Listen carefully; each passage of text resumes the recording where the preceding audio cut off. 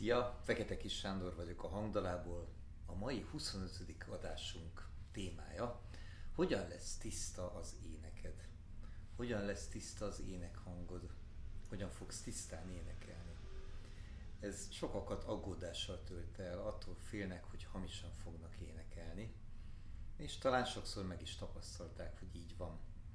Viszont amit nem tapasztaltak meg, legalábbis nem az énektanulás, mondjuk egy hangdala énektanfolyam előtt, hogy az, hogy mennyire tiszta vagy nem tiszta az ének, az függ például attól, hogy mennyire használjuk az egész testünket, például a légzésre, hogy mennyire használjuk akadályként a torkunkat, a szájpadlásunkat, állkapcsunkat, vagy pedig átengedő közekként ahhoz, hogy megszólaljanak a hangok, és olyan energiával szólaljanak meg, ahogy a zene megkívánja.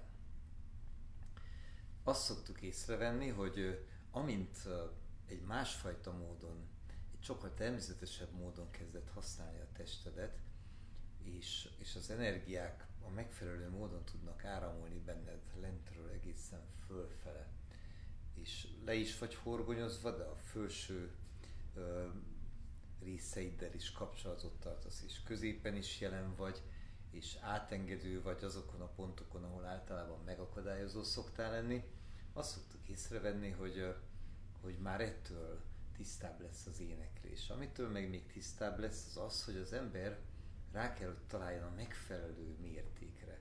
Minden egyes hang, minden egyes zenei részlet, minden egyes skála más és más energiállapotot, más és más beállítódást követel, amit nagy, amire nagyon finoman rá kell éreznünk, miközben gyakorolunk, éneklünk. Tehát a tiszta éneklés az mindenképpen a gyakorlatnak az eredménye, azáltal, hogy sok időt adunk az éneklésnek, sok időt adunk, sok figyelmet adunk, miközben éneklünk, és megszüntetjük többek között az aggódást, ami beszennyezi a lelkünket és a hangunkat is, tehát egy elfogulatlan módon újra meg újra dalra fakadunk, engedjük, hogy az energiák működjenek bennünk, engedjük, hogy az érzelmek dallá váljanak bennünk, és nem baj, hogyha az nem rögtön csodálatos, meg tökéletes, meg halálosan tiszta. Először az a fontos, hogy muzsikáljunk, hogy használjuk a hangunkat.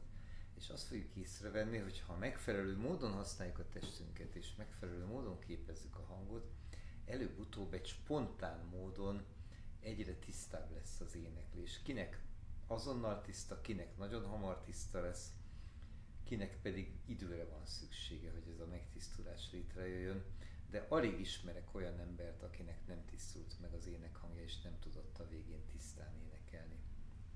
Nyilván ez összefügg a lelki, az elképzelésünk és a lelki, hogy is mondjam, csak hátterünk tiszta víziójával, ahogy egy dallamot vagy egy zenét megálmodunk magunkban, és azt akarjuk valóra váltani, minél tisztább ez a belső kép, és minél inkább úgy tudjuk használni a testünket, hogy ami összhangban van azzal a belső látomással, amit meg akarunk valósítani, annál tisztább lesz az énekünk, és nem csak, hogy tisztább lesz, hanem annál inkább egy olyan fajta kifejezés, egy olyan fajta hangulat, egy olyan fajta mondani való lesz az énekhangunkban, az éneklésünkben, ami pontosan megfelel a darabnak is, és a lelkünknek is.